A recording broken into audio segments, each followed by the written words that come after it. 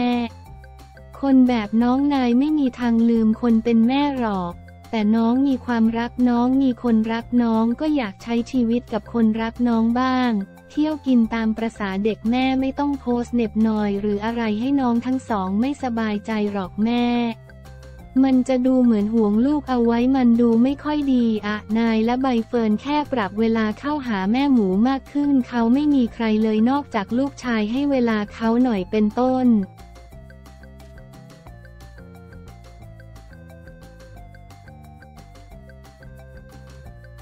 กกตขยายเวลาสอบพิธาอีก 15 วัน พร้อมส่งข้อมูลหาเสียงยกเลิกหมู่ 112 ให้อสสกกตขยายเวลาสอบ พิธาปมรู้อยู่แล้วไม่มีสิทธิสมัคร อีก 15 วัน พร้อมส่งข้อมูลนโยบายหาเสียงกกยกเลิกหมู่ 112 ให้อสส เมื่อวันที่ 4 กรกฎาคม ผู้สื่อข่าวรายงานว่านายแสวงบุญมีเลขาธิการกบตะได้อนุมัติขยายระยะเวลาการสอบสวนตามที่คณะกรรมการไต่สวนของกกตกรณีนายพิธา ลิมเจริญรัตสสบัญชีรายชื่อและแคนดิเดต นายกรัฐมนตรีพักก้าวไกลรู้อยู่แล้วว่าไม่มีสิทธิลงสมัครรับเลือกตั้ง ส แต่ยังคงลงสมัครรับเลือกตั้งตามมาตรา 151 พรปว่าด้วยการเลือกตั้ง ส จากเหตุมีลักษณะต้องห้ามในการลงสมัครรับเลือกตั้งถือครองหุ้นบริษัทไอทีวีจำกัดมหาชนได้เสนอเรื่องมาเนื่องจากการดำเนินการสอบสวนยังไม่แล้วเสร็จ โดยอนุมัติให้ขยายเวลาการสอบสวนเพิ่มเติมไปอีก 15 วัน ซึ่งถือว่าเป็นการขอขยายระยะเวลาการสอบสวนครั้งแรกหลังจากครบกำหนด 20 วันในวันนี้ วันที่ 3 กรกฎาคม นับแต่มีคำสั่งแต่งตั้งตามระเบียบกกตว่าด้วยการสืบสวนไต่สวนและวินิจฉัย 2563 นอกจากนี้ยังมีรายงานว่าที่ประชุมกกตวันนี้ 3 กรัมคอ ยังได้เห็นชอบกรณีอายการสูงสุดมีหนังสือขอเอกสารและขอทราบการดำเนินการของกกตเกี่ยวกับกรณีพักก้าวไกลมีนโยบายหาเสียงแก้ไขและยกเลิกประมวลกฎหมายอาญามาตรา 112 ตามที่สารรัฐธรรมนูญได้มีคำสั่งให้อายการสูงสุดชี้แจงว่ารับไม่รับ หรือมีการดำเนินการอย่างไรกับคำร้องที่มีผู้ยื่นเรื่องดังกล่าวต่ออายการสูงสุด เพื่อให้ส่งสารรัฐธรรมนูญวินิจฉัยตามรัฐธรรมนูญมาตรา 49อย่างไรก็ตามกรณีนโยบายหาเสียงแก้ไขและยกเลิกประมวลกฎหมายอาญามาตรา 112 ของพักก้าวไกล ก่อนหน้านี้นายทะเบียนพักการเมืองได้มีความเห็นไม่รับคำร้องที่มีผู้ยื่นร้องกกตขอให้พิจารณาเสนอสารรัฐธรรมนูญสั่งยุบพักก้าวไกล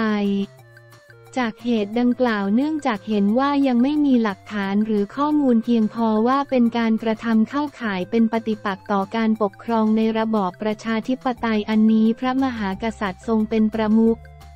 แต่ก็ได้มีการสั่งให้ทางสำนักงานกกตไปตรวจสอบเพิ่มเติมว่าการกระทำตามที่มีผู้ร้องนั้น เป็นความผิดฐานไหนตามกฎหมายอื่นอีกหรือไม่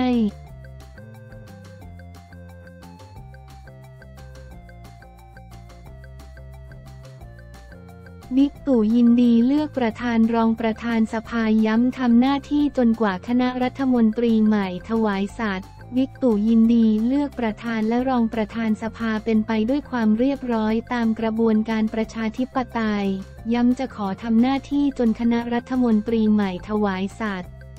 เมื่อเวลา 16 นาฬิกา 20 นาที วันที่ 4 กรกฎาคม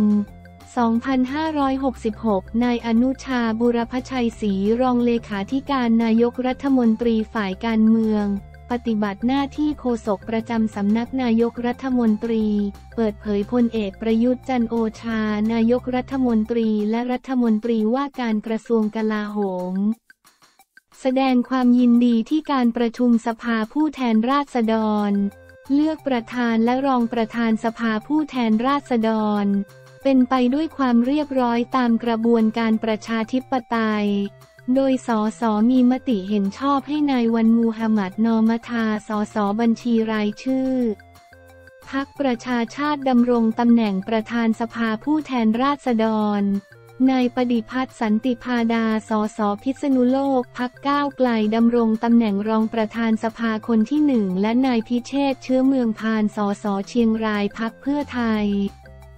ดำรงตำแหน่งรองประธานสภาคนที่สองพลเอกประยุทธ์แสดงความยินดีและขอให้ได้รัฐบาลใหม่โดยเร็วเพื่อส่งผลดีต่อประเทศ ทั้งนี้ขอให้ช่วยกันทำให้บ้านเมืองสงบ เรียบร้อยปลอดภัยยึดมั่นในชาติศาสนา ระมหากษัตริย์ ซึ่งพลเอกประยุทธ์จะทำหน้าที่รักษาการจนกว่าคณะรัฐมนตรีชุดใหม่